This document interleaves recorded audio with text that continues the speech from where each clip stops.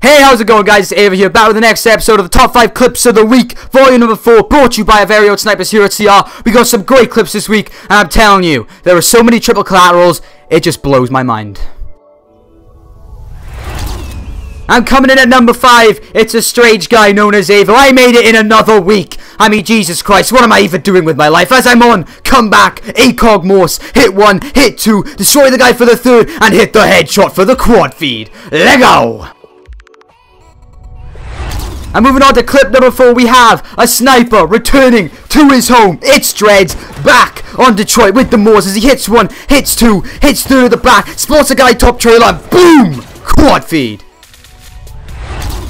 And moving on to number three of the count, that we have the Bay himself, Clasbae, Mirage with the ballista as he hits a single, turns, and just another triple collateral.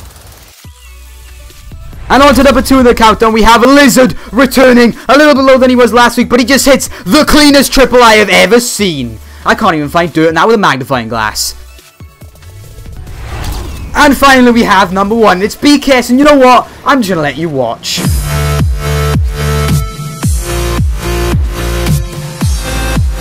And that is how you dismantle an entire enemy team as BKS destroys them with a triple collateral. Thanks for watching guys, I'll see you in the next one. Hope you will enjoy, hit like, comment, subscribe and all that cool stuff. And goodbye.